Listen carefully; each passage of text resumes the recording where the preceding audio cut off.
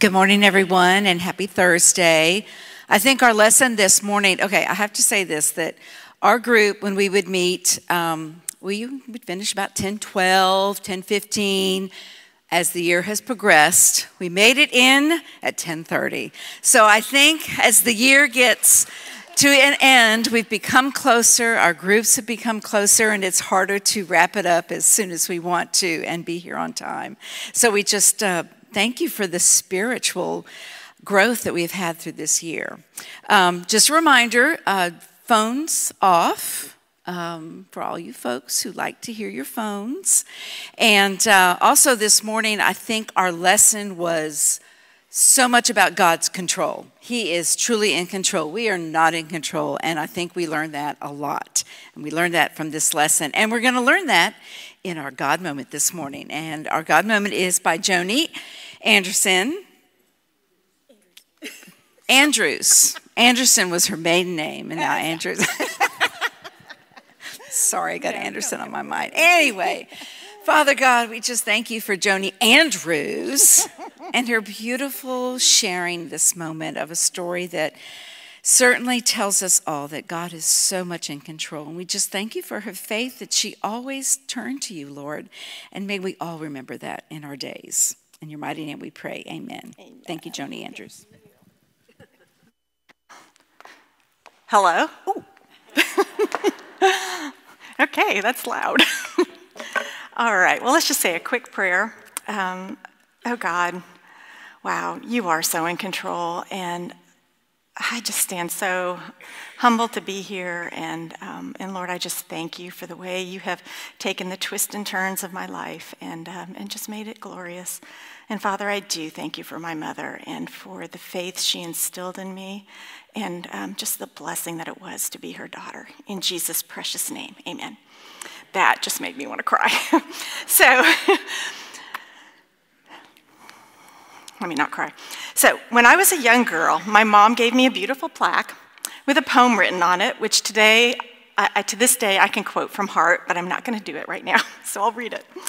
Um, As children bring their broken toys with tears for us to mend, I brought my broken dreams to God because He was my friend. But then, instead of leaving Him in peace to work alone, I hung around and tried to help with ways that were my own. At last, I snatched them back and cried, How could you be so slow? My child, he said, what could I do? You never did let go. What a powerful lesson a mother could teach her young daughter. Let go, trust God, He's got this. Proverbs 3 5 Trust in the Lord with all your heart and lean not on your own understanding. In all your ways, acknowledge Him, and He will make your path straight. During the health section of my sixth grade science class, our teacher decided to give us hands on experience on what it would be like to give someone an injection. So, she bravely passed out syringes to each of us, along with a cup of water and an orange. She taught us how to draw up the water and inject it into the orange. And well, from that moment on, I knew I wanted to be a doctor. My love of science at that early age, combined with my love of helping people, made this seem to be the obvious choice of profession to 11 year old me. So, armed with that desire, I literally spent the next 10 years doing everything in my power to make that dream a reality along with the endless studying for all those science classes that I took in high school and college, I prepared myself with hours of volunteering in hospitals, emergency rooms, labs, and doctors' offices. I was to, committed to making myself the best medical student possible. However, one thing stood in the way of culminating my, at that point in time, life's work. I had to get accepted to medical school. So the summer before my senior year in college was spent completing applications and writing essays. I applied to 11 schools in total, and as I took placed each of those applications in the mailbox, I would pray for God's will to be done and silently hoped that his will and my will were in agreement. For those past 10 years, I had worked for this, prayed for this, and knew in my heart it was what I was meant to do.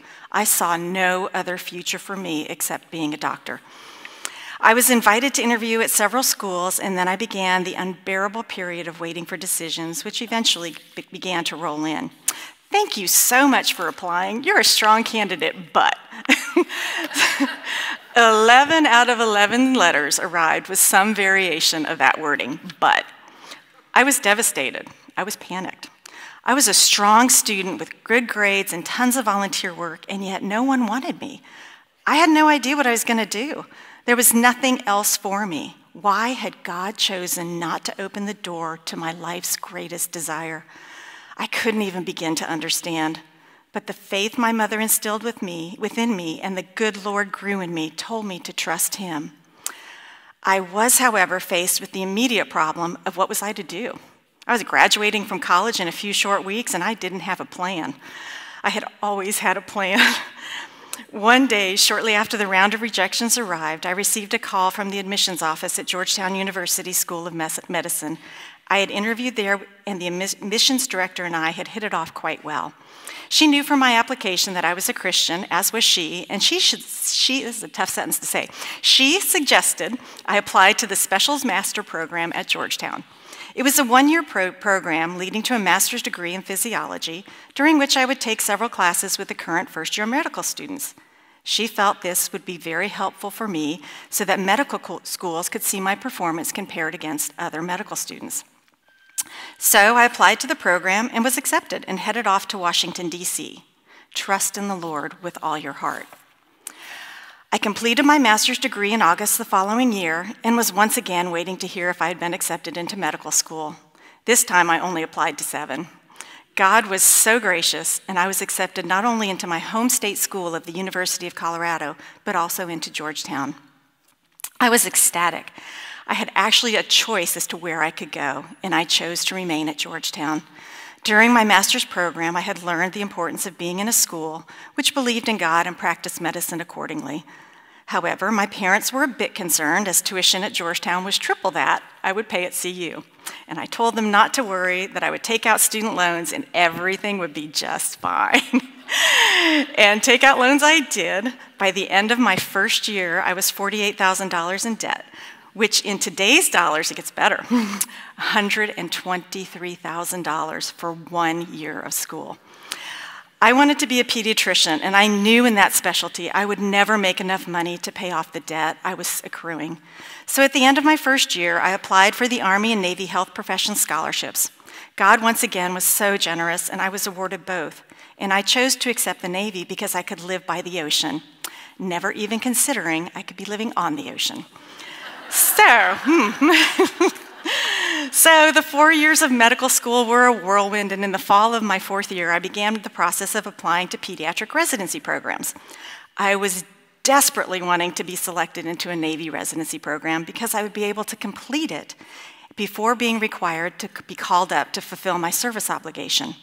If I didn't get into a Navy program and attended a civilian one, I would be called up after my first year of residency to serve my commitment as a general medical officer, not a pediatrician. So, once again, I was applying, and once again, I felt my application was incredibly strong, and once again, I was standing at a mailbox praying, and once again, God had a different plan. And once again, I was absolutely devastated. I was not selected for any Navy residency programs. I was so convinced I was one of the strongest candidates out there that I didn't even apply for civilian programs. Heartbroken me knew that God was in control, and He had it.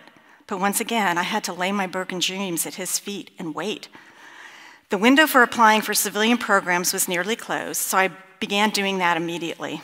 And on January 31st of my senior year of medical school, on the very last day of interviews, I flew from Washington, D.C. to Houston, Texas to interview at Texas Children's Hospital.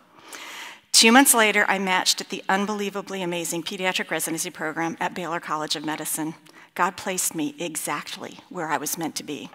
Trust in the Lord with all your heart. In February of my first year of residency, a large manila envelope was waiting in my uh, mailbox at the hospital. It was from the Navy, my heart was once again broken as even before opening it, I knew it contained my orders to go on active duty as a general medical officer. Inside was a letter instructing me to contact my detailer, who's the person responsible for assigning my duty station. So I contacted him, and he offered me a choice of three post, pro, posts, all of which sounded horrible. So one was on a, a a destroyer tender based in Japan. The other was some clinic in some foreign country I'd never heard of. And um, the other was also on a ship based in San Diego, living on the ocean, huh? So I told him I would think about it and I would call him back. Well, I never called him back. I like to say it was because I was so busy as a resident, but it was really I was hoping he'd forget all about me. but of course, it's the Navy, and he did not. And a month later, he called me back. And so this time, though, he had a completely different list. And on that list was the medical clinic at Kings Bay, Georgia Naval Submarine Base. And that's in St. Mary's, Georgia. Without one moment of hesitation, I accepted the assignment. It was a clinic, it was on land, and it was in the US. So that summer, I packed up my life and moved to Georgia. Trust the Lord with all your heart. Within one month of my arrival on the base in Georgia, the course of my life changed forever. I was working in military sick call, which is the, kind of the urgent care for the active duty, active duty servicemen and women, when I was asked to go out on a 14 hour Tiger cruise. Uh, and it's on one of the submarines. And a Tiger cruise is a short voyage where family members of the sailors are invited on board so that they can see their loved ones doing what they do during their three month deployment under the water. Talk about on top of the water. I was going under it. so, anyway, when civilians are on a submarine, a real doctor has to be on board uh, in case anyone falls ill. The sailors normally have a corpsman uh, who takes care of them underway, but they're not allowed to care for civilians. So, the following week, I headed down to the waterfront and climbed down the ladder onto the USS Kentucky ballistic missile submarine. I didn't have any job to do except to stand by if needed. The ship's corpsman showed me to the officer's study where I could sit and relax and enjoy the journey. I'd been settled in there for about an hour or so when a young ensign came strolling in and stopped dead in his tracks. He asked me if I was one of the wives, and I told him no, I was the doctor on the cruise for the day. Well, a light went off in his brain, and it was completely visible on his face. He immediately asked me if I wanted a tour of the boat, and I said I would love it. Well, that sweet young ensign, who I did outrank, um, ended up stealing my heart, and we were engaged a year later, and this September we celebrate our 28th anniversary. so Romans 8:28, and we know that God causes all things to work together for good to those who love God, to those who are called according to his purpose. This has been one of my favorite verses always. For the longest time, I never really appreciated the full meaning of this verse. God causes all things to work together. When I look back over the disappointments in my pursuit of becoming a doctor and a pediatrician, I can now see exactly what God had in mind, and I can see clearly His hand in every aspect of that journey. If I had been accepted to medical school my first try, I would have remained in Colorado, but instead, He placed me at Georgetown, where I learned the importance of attending a medical school founded on Christian principles. This made me accept the position offered by Georgetown and not CU. Georgetown's tuition was three times higher at CU, and my student loan debt after that first year was truly suffocating. This led me to apply for the Army and Navy scholarships. I grew up in landlocked Colorado, and I did truly desire to be by the ocean, just not on it. this led me to accept the Navy scholarship and not the Army. If I had been accepted into a Navy pediatric residency program, I would have remained there all three years to, com to complete it. But instead, I wasn't and got called up after my first year at Texas Children's. I believe that God made those first choices for duty stations so unappealing that when the detailer called back, I would jump at the opportunity to be at a US base on land. so, um, and that assignment did lead me to a very brief 14 hour period on a nuclear submarine where he had so also placed my husband, who, very much like me, ended up on that submarine by a very convoluted and God directed path. God causes all things to work together for good, even if we can't see it in the midst. Thank you, Lord. I love you.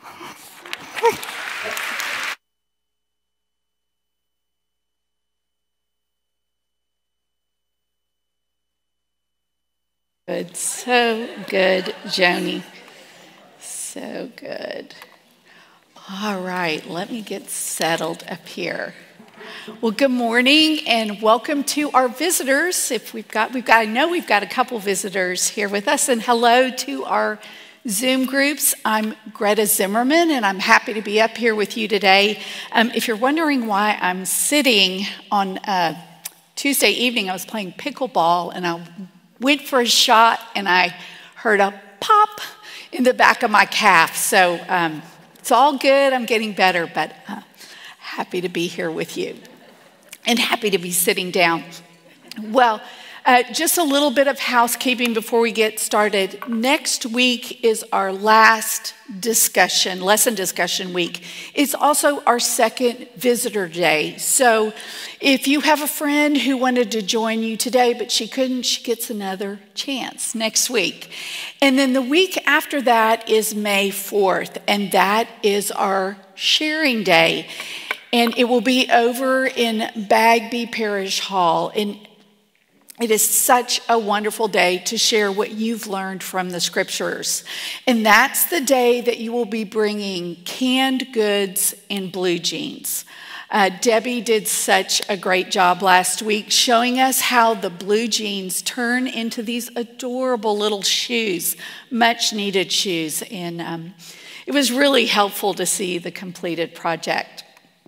Well, today we will be looking at Acts chapter 20, with our focus being verses 15 through 31. And we've seen that Paul has been traveling through the Mediterranean region with a group of disciples. They have been preaching and planning churches and encouraging believers. The church is growing because others are witness to Paul's transformation. And these verses show us how Paul is a man with a mission. He's determined to fulfill the purpose that God has set out for him. I'd like to pray for us before we get started, so please bow your heads. Oh Lord, thank you so much for the way that you completely altered Paul's heart. Once he knew you, nothing could stop him from spreading the gospel everywhere he went. May we have the same urgency to share what we know about you to be true with others. We pray this in the confidence of your grace. Amen. All right. So, what we have been learning in the book of Acts is God's vision for worldwide gospel expansion. That Jesus came for everyone. His love is limitless and relentless, and it crosses every boundary line. Most of Acts is written to explain how the gospel got to unbelievers.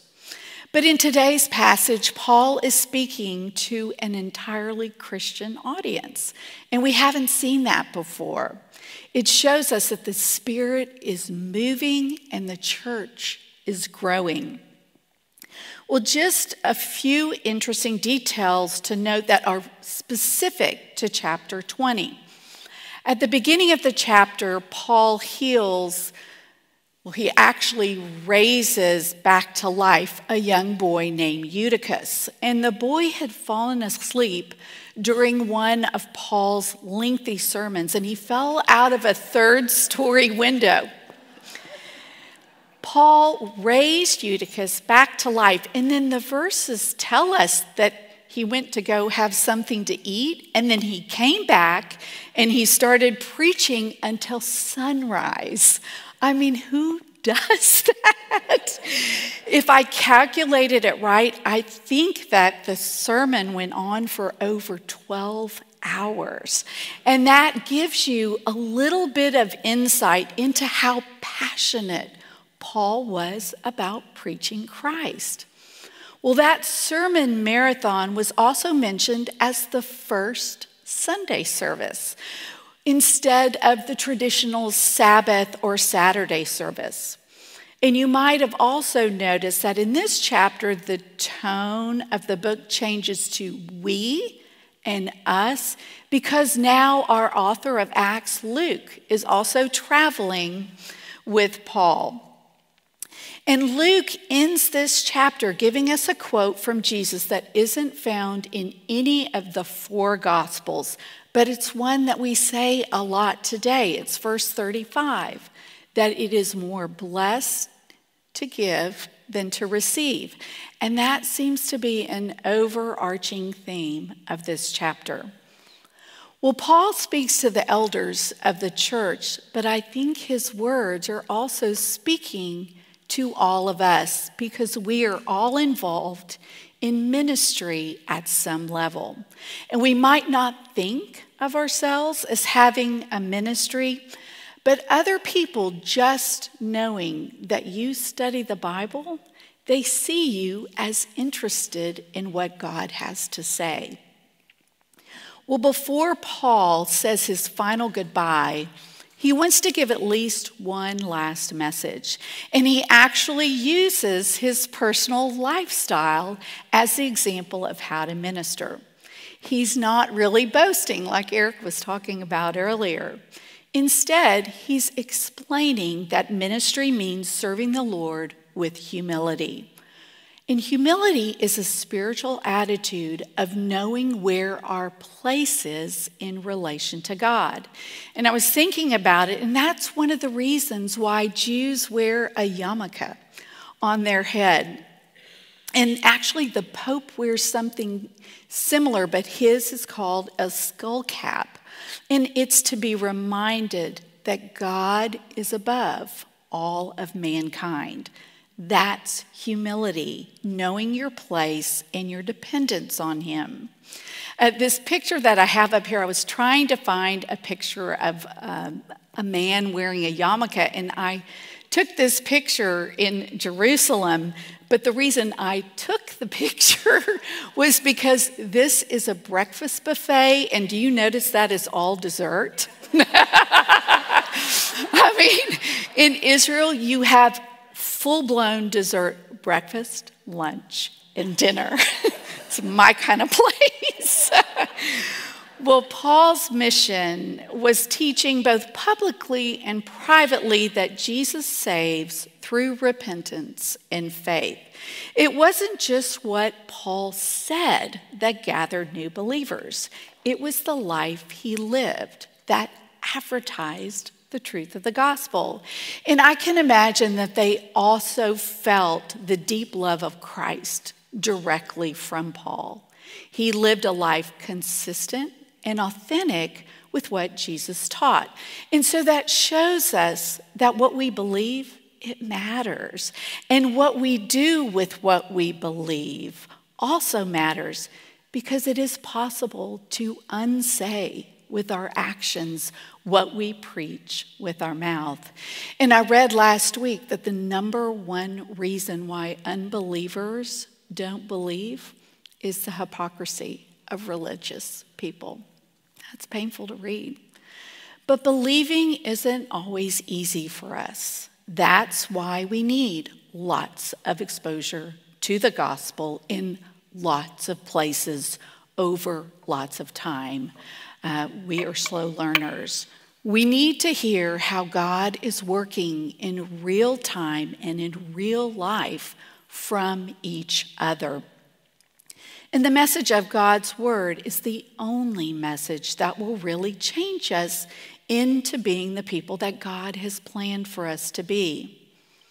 But our personal Bible study is only as powerful as what happens when we close that Bible and we allow those truths or not to impact our life.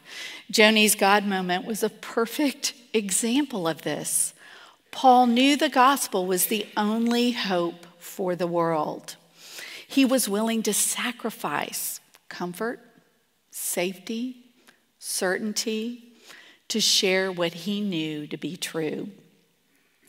Well, Paul warns the elders that following Jesus isn't without trial.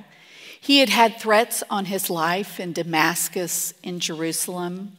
A mob chased him out of Antioch.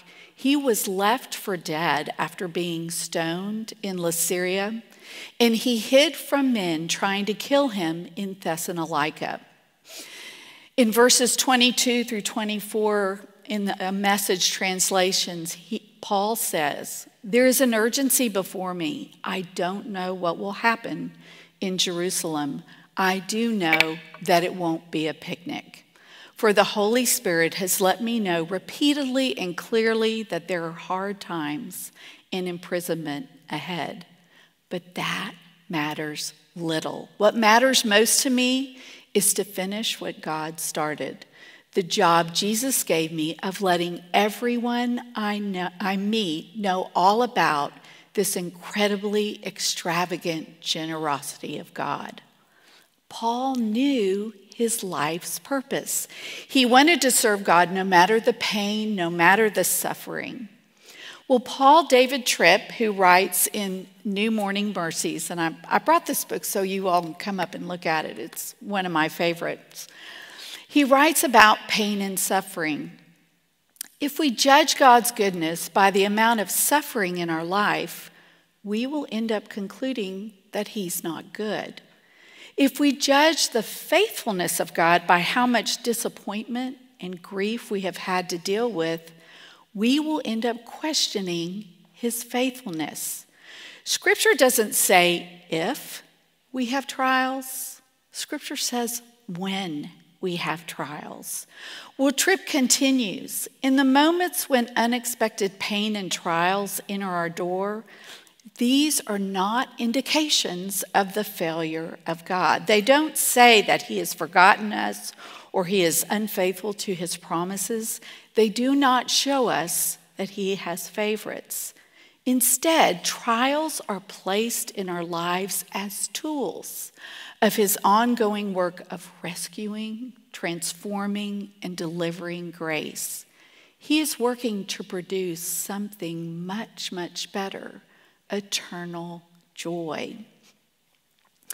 So this week, my husband asked me, he said, So, what are you teaching on on Thursday? And I said, Well, it's Acts 20, but there's, there's a part about pain and suffering. So it's, it's hard. So he sat there for a moment, thinking quietly, and I thought maybe he was going to say something uplifting. But then he said very sincerely, You know, I don't like pain and suffering. I said, I know. I don't know anybody who does. But Paul David Tripp says, what we think we want is vacation planner Jesus. Just give me a ticket to paradise. but he's not vacation planner Jesus, is he? He is our sovereign Savior King. This life is meant by God to be a time of preparation for the final destination that will be our home eternal. So, right now, life is not paradise.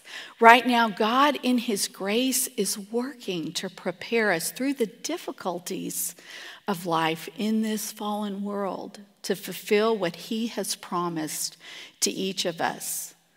There can be purpose in our pain, but we don't always see it when we are right in the middle of it. Well, as Paul worked and suffered, this segment of his life, it honestly mirrored that of Jesus. He was fully dependent on the Holy Spirit. And I'm putting up here some of the roles and the names of the Holy Spirit comforter, counselor, advocate, intercessor, guide. Jesus promised to send the Spirit to counsel and actually pray for those who belong to Christ. So when we are in the middle of uncertainty or shock, you don't know what to pray, you don't know what to do. But one of the most comforting aspects of the Holy Spirit is that He helps us in our weakness. The Spirit Himself prays for us and intercedes for us. And you know, we actually don't spend a whole lot of time talking about the person of the Holy Spirit. But the good news is, next fall, we are going to do a study on the Holy Spirit. And I think that's going to be so helpful and reassuring for all of us. Well, this lesson today, what does it mean for you and me in how we live out our life? Paul was willing to follow the plan and the purpose that God had for him. So there is a professor at Rice University, Dr. Jim Tour. Uh, he's a professor of materials science and nanotechnology. He is a literal genius. He's also a prolific Bible study teacher. And what's interesting is you usually don't have those two things go together. He says that most Christians have neither a plan or an understanding of God's purpose for their life. He says they spiritually aim at nothing and they hit their mark every single time.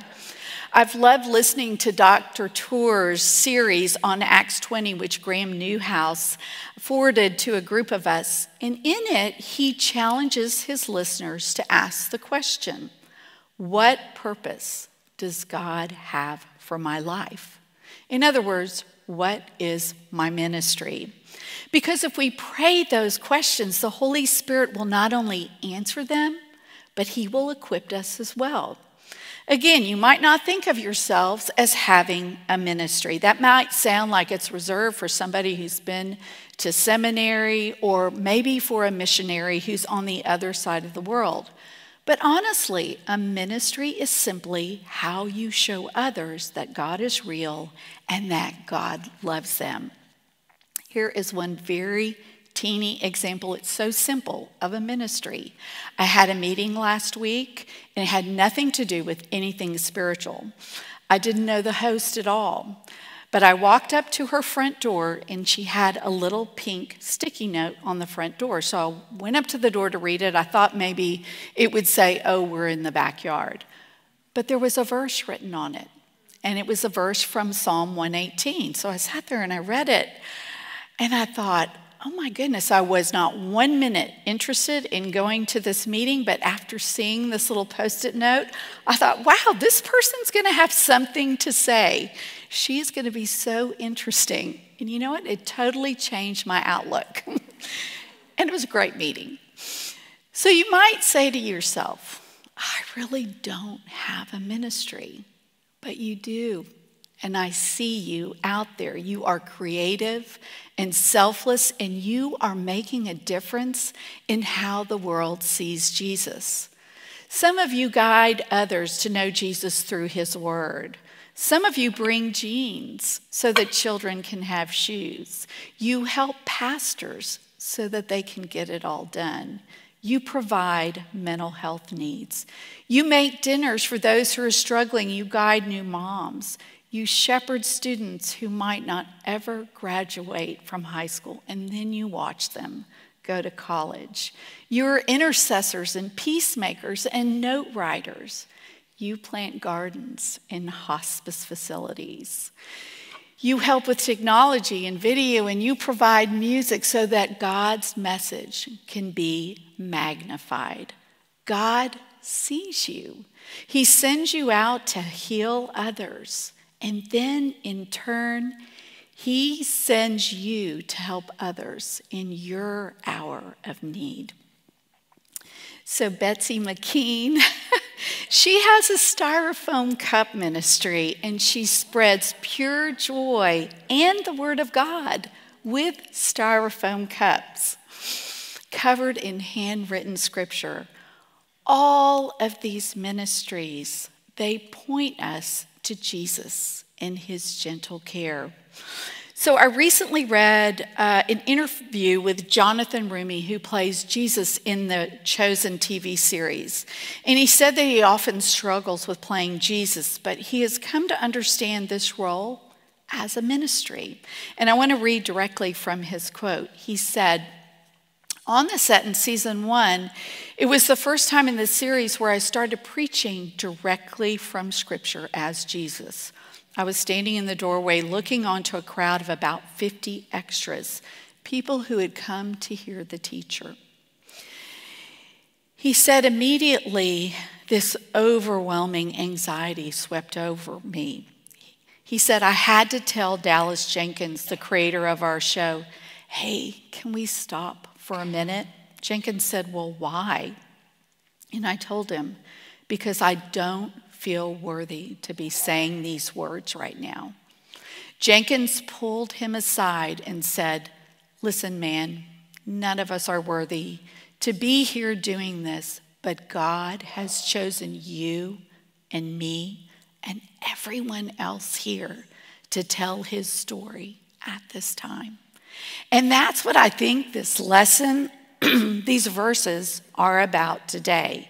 Our mission, our ministry is to tell God's story at this time. It's what Paul did relentlessly, urgently. Nothing could stop him, no matter what the roadblock, no matter what the pain, no matter what the suffering.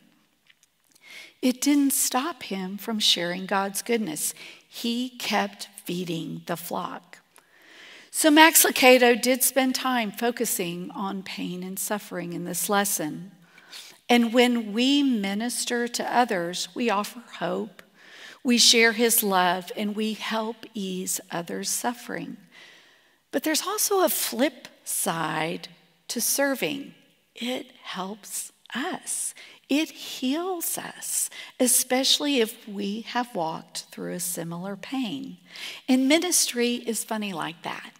It's a win win. It is better to give than to receive. Well, I want to leave you with this literal picture of hope in the midst of extreme pain.